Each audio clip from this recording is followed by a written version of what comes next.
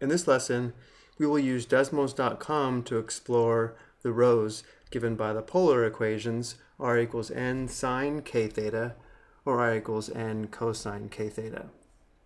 To begin, let's go to Desmos.com and click Graphing Calculator. Let's click the wrench in the upper right hand corner and let's change the grid to polar and let's also change from radians to degrees. When tracing out polar curves, it's often much easier to do in degrees because it's much easier to recognize the angles. To close this menu, either click the wrench again or outside the menu. And now let's click in cell 1 and enter r equals n sine, open parenthesis, k theta. To enter theta, we can type in T-H-E-T-A from the keyboard or from the Desmos keypad, click the ABC, and we can find theta on the far right. Notice how we have the option to add sliders for n and k. Let's click all. By default, n is equal to 1 and k is equal to 1, and the intervals are from negative 10 to positive 10. Let's change the interval for n to go from negative 8, tab, 8, tab. Let's have a step of 0.5, tab. And now let's change the interval for k from negative 6 to positive 6 by 1s. Click on the negative 10, enter negative 6 tab 6 tab 1, and click outside cell 3. And now we have sliders for n and k.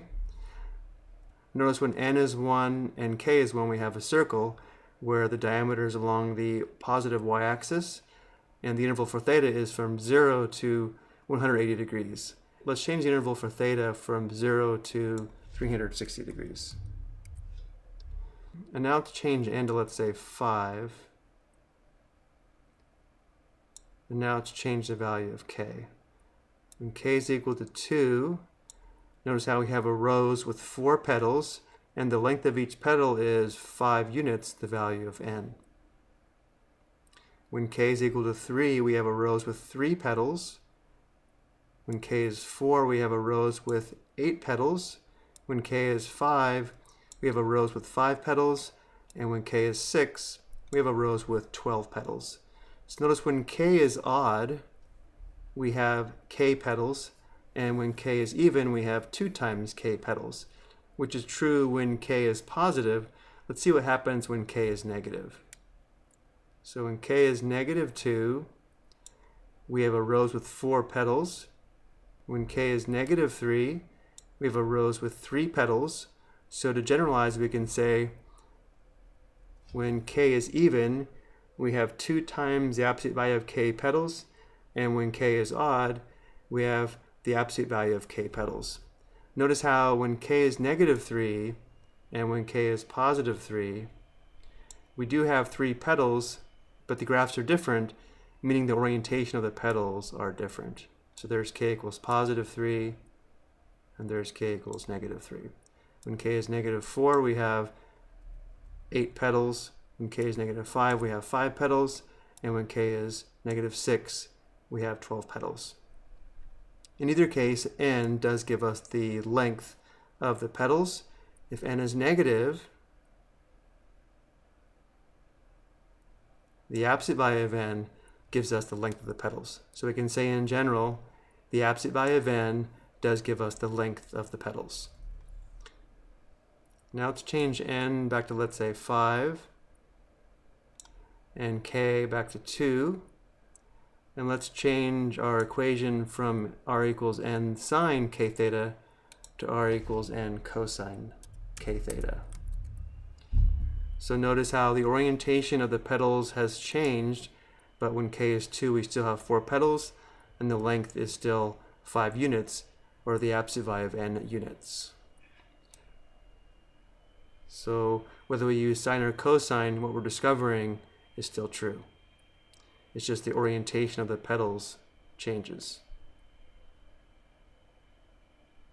The last thing we might want to do is see how the curve is traced out over a specific interval for theta. So let's go back to a rose with four petals, shown here on the right. And let's trace out this curve over the interval for theta from 0 to 360 degrees. Let's click in cell 1. Let's change the type of graph by clicking and holding on the red circle on the left. Let's select the dash style and the orange color. Click outside this menu. Now we will duplicate this equation by clicking the gear, then clicking the duplicate option in cell 1. Now we're going to go down to cell 2 and we're going to restrict the domain or the interval for theta from 0 to a and then create a slider for a. Before we do this though, we are going to change the style of this graph by clicking and holding on the orange circle on the left, select the solid graph, and let's select purple. And now to create the slider, we're going to use the curly brackets or squiggly brackets, going to the Desmos keypad, and then clicking ABC that would be these curly brackets here, or squiggly brackets at the bottom. And now we are going to enter 0 less than or equal to theta less than or equal to a. And now we have an option for a slider for a. Click A to add the slider. And now we're going to change the interval for a from 0 to 360 degrees click negative 10, enter 0, tab 360, tab 5 degrees for the step. Click outside cell 3, close the Desmos keypad, and now we can use a slider to trace out the curve from 0 to 360 degrees. So looking at the graph, notice how from 0 to 45 degrees we have this half of this first petal continuing we can see how the rose is traced out again over the interval from 0 to 360 degrees which gives us the complete four petal rose. Let's summarize our findings. The polar equations r equals n sine k theta or r equals n cosine k theta is a rose. The distance from the end of a petal to the origin is the absolute value of n units. When k is odd, there are the absolute value of k petals. When k is even, there are 2 times the absolute value of k petals. I hope you found this helpful.